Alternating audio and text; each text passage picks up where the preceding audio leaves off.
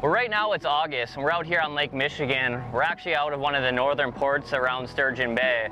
And so what you have in the salmon fishing out here on Lake Michigan is there's a progression of the fish moving from the south to the north, and there's a few reasons for that.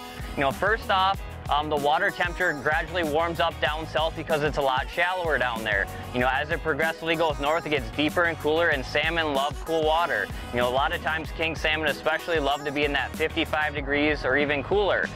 Also, majority of all the stock fish uh, that are in Wisconsin are based out of Sturgeon Bay, the Strawberry Creek Hatchery. And so it's naturally their home. All those four-year-olds, you know, it's the last year of their life before they go in and spawn, um, head towards that Sturgeon Bay area because of that. Plus, Sturgeon Bay generally has a lot of current along the bank, which also holds a lot of bait. So it's the best of everything and can build really big salmon.